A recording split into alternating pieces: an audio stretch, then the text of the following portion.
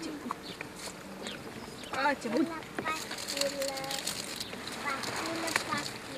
Cultura de zmeură a familiei Panait atrage la fiecare sfârșit de săptămână mulți turiști dornici să experimenteze munca unui culegător. Familii întregi din toată țara dau năvală printre buta și dezmeură. Fructele foarte coapte nu mai ajung în găleată, ci direct în gura pofticioșilor. Aici mănânc smeură și este o activitate plăcută.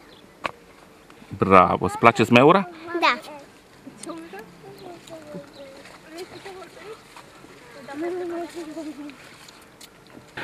Dă-mi încolo. Hai- Hai să-i și încă bine albinele pe noi. Ei, ei. Vedeți? Vizitatorii plantației culeg zmeura în găletușe cât mai mici pentru a nu zdrobi fructele. Munca este una migăloasă. Ca să strângi un kilogram de zmeură îți trebuie multă răbdare.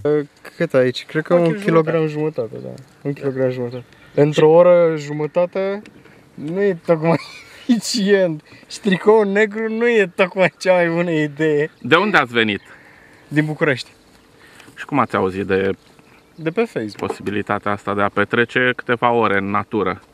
Uh, De pe Facebook. Inițial am vrut să mergem uh, și la Căpșuni.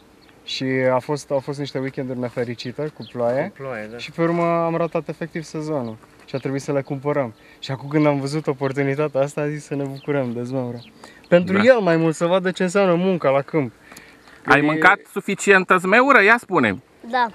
Și cum este? Este bună. O să mai vii cu tăticu și mămica la cules? Mm, poate și cu verișoarele. Oaspeților le este călăuză prin plantația de zmeură Silvia, una dintre fetițele familiei Panait. Uh, Multe familii, mulți copii din toată țara și chiar au fost încântați. Uh, Le-a plăcut foarte mult uh, smeura. De, de unde a pornit ideea de a invita familii cu copii în natură, de a culege și de a mm, gusta, de a pe săturate de aici, a pornit de la ideea pentru că eu, pentru piață, nu pot uh, comercializa fructele foarte coapte, ajunse la maturitate. Datorită transportului, ele ajung la piață foarte turtite și nu arată estetic atât de bine. În schimb, ele sunt foarte bune pentru gemuri și pentru sucuri.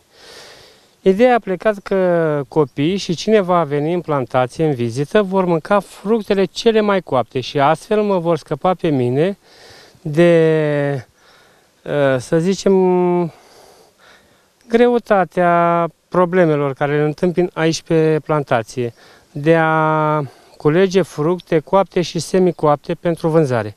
Și ideea a fost copiii vor mânca fructele cele mai coapte, și în acest schimb eu voi rămâne numai cu fructele semicoapte care vor fi transportate în mare siguranță în piețe unde se comercializează. Invitația fermierului a fost lansată pe pagina de socializare, iar de atunci doritorii de fructe proaspete, dar și de o experiență unică, nu mai contenesc să sosească.